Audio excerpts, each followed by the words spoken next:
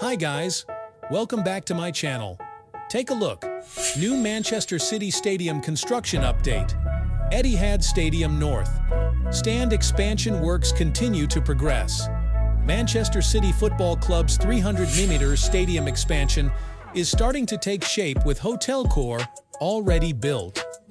The North Stand expansion project will increase Etihad Stadium's capacity to more than 60,000 spectators. With a new fan zone, club store, hotel and museum seating 3,000, establishing the matchday experience. Match at Manchester City is one of the best in world sport.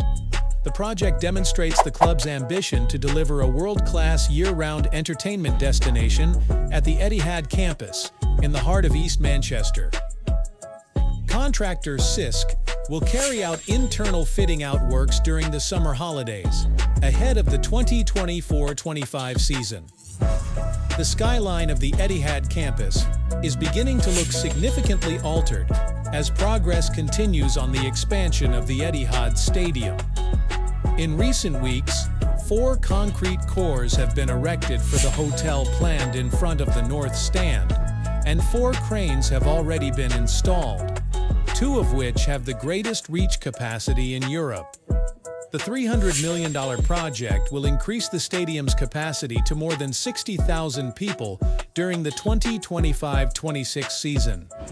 Around 15,000 cubic meters of earthworks need to be excavated to create the new water channel that will connect neighboring docks, provide a scenic overview from the western terrace, and help provide a natural habitat for wildlife.